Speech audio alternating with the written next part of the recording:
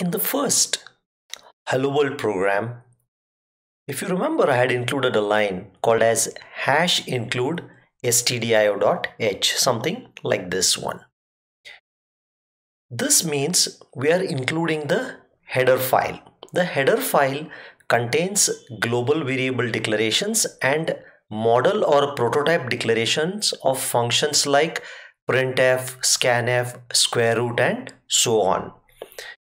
Now this hash include of the header file comes in two variations. In the first format, we can say hash include angular bracket name of the C header file dot h. An example of that could be hash include stdio.h which stands for standard input output dot h. The second approach to include a header file could be hash include double quote user header file dot h. This is a header file which comes along with the C standard or the C compiler which we are going to use. This U stands for the user created header file. So just as C has provided you a header file because it provides a library with functions or code of functions like printf and scanf. Let us assume you are in a huge project. You are doing hundreds of different functions. Let us assume we are going to use or 10 people are responsible for developing functions which are going to be used by other 90 people.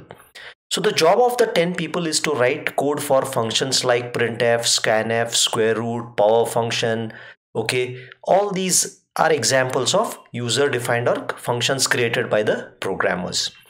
Now once these functions are created by these 10 people, if you need to use them, what you will do is you, those people will create a header file where the prototype or model declaration of all those functions created by them okay are going to be declared or are going to be mentioned in this particular header file.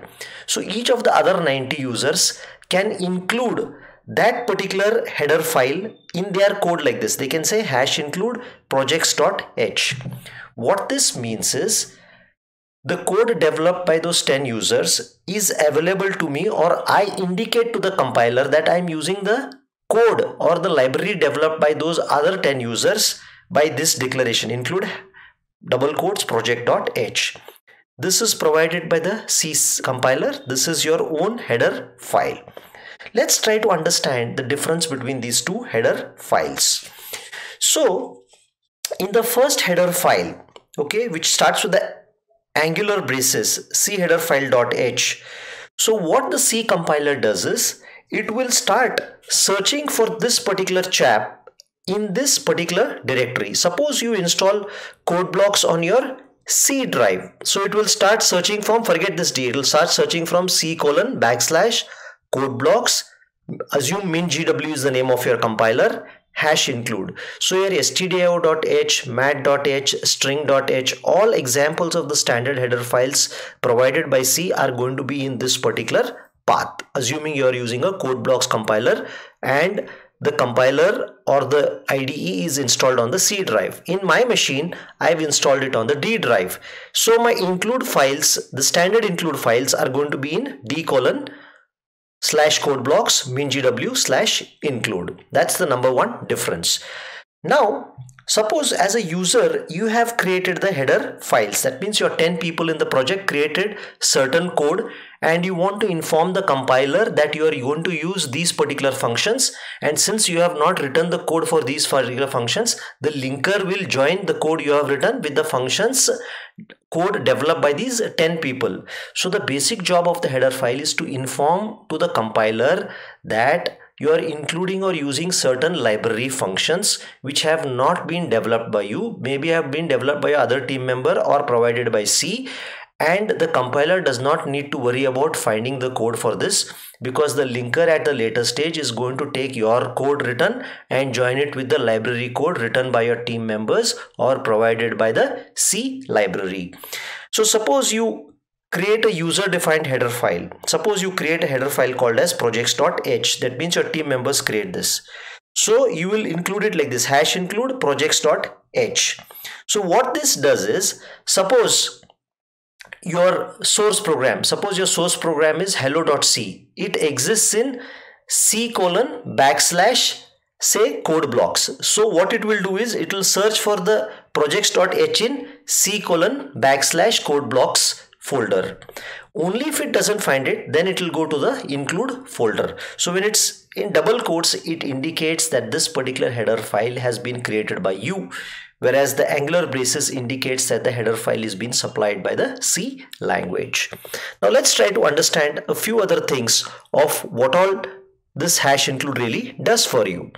So the job of the hash include is Suppose it encounters a hash include statement like this. The preprocessor software encounters the hash include statement like this. So what it does is at this particular point in your source code, which is the hello.c, it will open the stdio.h and it will copy that file and insert it at that particular point in your source code.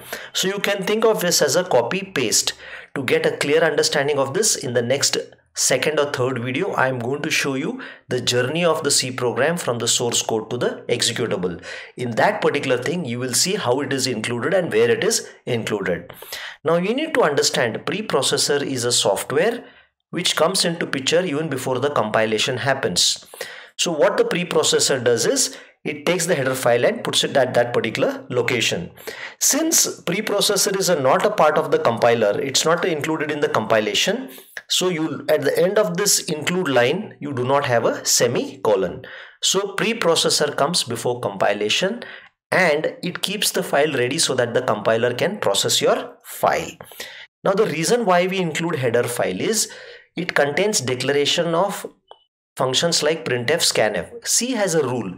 If you are using certain functions like printf scanf, the compiler needs to know before so that it does not end up searching for that particular code. Because the moment it sees the declaration of printf and scanf, it knows that the linker is going to link it. It does not need to bother about finding the code and trying to compile it. That's what the job of this preprocessor does. Now, the next two statements. The advantage of header files is your 10 team members created say 20 functions and they create a header file called as projects.h with the declaration of all those 20 functions. So you are able to use that particular header file in your own programs. Rule of the thumb you will have only one header file per line. Do not have hash include stdio.h then again hash include math.h not permitted. You need to have one header file per line. Now in the header file there is absolutely no C code. It only contains declaration of global variables models or technical term for function models is or printf scanf model is prototype declarations and declaration of constants used by the code of yours when it includes the header files important thing after the hash include don't write any int main or any code here. The int main needs to start on this line. Because any line which starts with the hash is processed by the preprocessor. So this entire line is eaten up by the preprocessor. So after the hash include stdio.h if you write int main that line is going to be consumed by the preprocessor and your compiler is not going to get that particular line. So you need to have only one include statement or one hash include per line